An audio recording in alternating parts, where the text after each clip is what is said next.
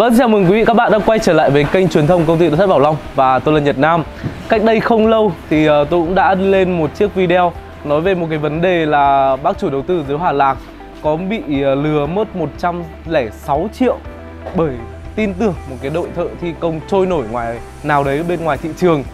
À, về bản chất thì gia công hay là thi công karaoke nó đều sử dụng những cái kỹ năng cơ bản của việc làm biển quảng cáo Vậy nên cái vấn đề là các đội thợ ờ, gia công chuyên nghiệp thì ít nhưng những cái đội thợ trôi nổi ngoài kia thì rất nhiều đang là một cái ờ, vấn nạn phải nói là tương đối là lớn. À, về những cái đội thợ gia công uh, trôi nổi đấy thì họ gần như là không có một cái tên tuổi nào trên thị trường cả. Và những cái để chúng ta có thể xác thực ví dụ như là địa chỉ hay là uh, những cái thông tin để chúng ta có thể tin tưởng được họ thì gần như là không có. Vậy nên thì hôm nay em sẽ lên một chiếc video để uh, phân tích cho các bác ba cái lý do chính khiến các bác chủ đầu tư chưa thể tiếp cận được với những đội thợ gia công karaoke chuyên nghiệp tại Việt Nam. Ok, bắt đầu video.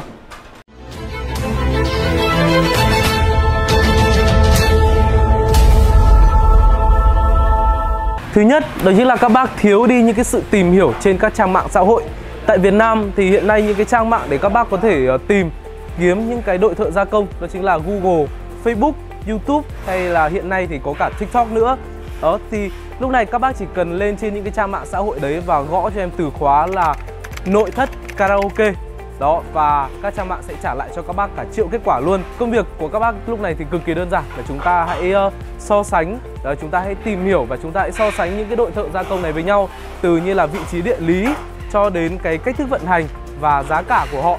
Đó và có một cái trick là các bác hãy tham khảo nhiều đơn vị tham khảo nhiều đơn vị và các bác hãy tham khảo trên nhiều trang mạng xã hội.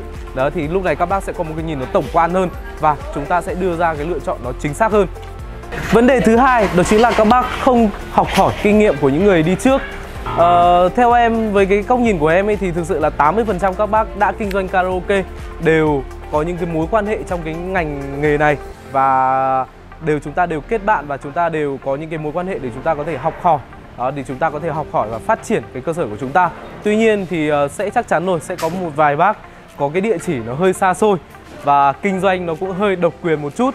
Vậy nên thì để các bác có thể tiếp cận được với uh, những cái cơ sở kinh doanh đã thành công rồi thì là một điều tương đối là khó. Để giải quyết được cái vấn đề này thì nó cũng vô cùng là đơn giản thôi. Đấy các bác hãy đầu tư ra một khoản đấy tầm khoảng 50 triệu gì đấy để có thể lên được những cái thành phố lớn và đến với những cơ sở kinh doanh karaoke đã thành công ờ, đông khách và đã thành công. Và đấy, và chúng ta hãy trải nghiệm hết toàn bộ những cái dịch vụ và cái không gian của họ. Đó, và tiếp theo là chúng ta chỉ cần đơn giản là hãy liên hệ với họ để hỏi những cái kinh nghiệm của họ thôi. Và em chắc chắn một điều ấy là lúc này thì họ sẽ rất là nhiệt tình trao đổi với chúng ta và họ sẽ cho chúng ta biết là nên làm việc với đơn vị nào và đơn vị nào chúng ta không nên làm việc. Và tất nhiên rồi, với một khoản đầu tư nho nhỏ như vậy thôi thì em chắc chắn là các bác đã gạt bỏ đi được rất nhiều rủi ro trước khi chúng ta tiến hành xây dựng cơ sở kinh doanh karaoke của mình. Thứ ba đó chính là rơi vào ma trận những lời ngon ngọt của những đội thợ thi công. À, có thể hiểu đơn giản là khi mà những cái đội thi công đấy đến tư vấn cho chúng ta ấy thì họ đưa ra à, một cái quy trình rất hay, những cái bản hợp đồng rất đẹp và đặc biệt là cái mức giá của họ đưa ra quá rẻ so với thị trường. À, như cái bác ở dưới Hòa Lạc ấy thì thực sự 106 triệu để có thể hoàn thiện được một phòng hát đầy đủ tất cả những giấy tờ kiểm định vật liệu thì 106 triệu là điều không thể. Đó 106 triệu là điều không thể nha các bác nhá. Hoặc là nếu có gia công được thì tất cả những cái vật liệu đấy đều không đảm bảo cho các bác về những cái giấy tờ kiểm định này. Và cái thời gian sử dụng của nó cũng không không lâu dài. Đó, chúng ta sẽ phải liên tục sửa chữa. Vậy nên khi các bác quyết định ký hợp đồng với một đơn vị nào đấy thì các bác hãy tìm hiểu cụ thể. Đó, đơn vị đấy phải có một cái địa chỉ cụ thể và rõ ràng à, các bác có thể đến tận nơi để có thể tìm hiểu được toàn bộ cái giá quá trình làm việc của họ này. À, họ cũng công khai tất cả những cái thông tin trên các trang mạng xã hội đó và có những cái hợp đồng và có quy trình làm việc nó rõ ràng.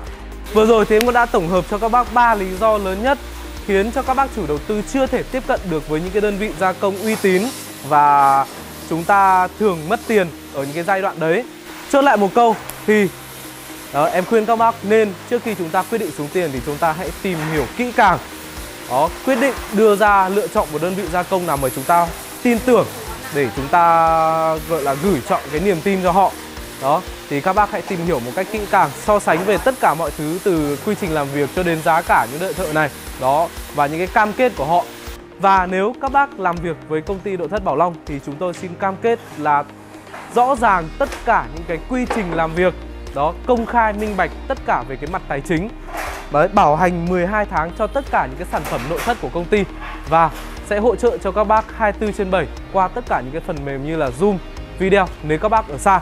Ok, uh, cảm ơn tất cả các bác đã xem hết video và nếu các bác đang có nhu cầu làm phòng hát thì các bác hãy liên hệ ngay đến hotline 0931 252 333.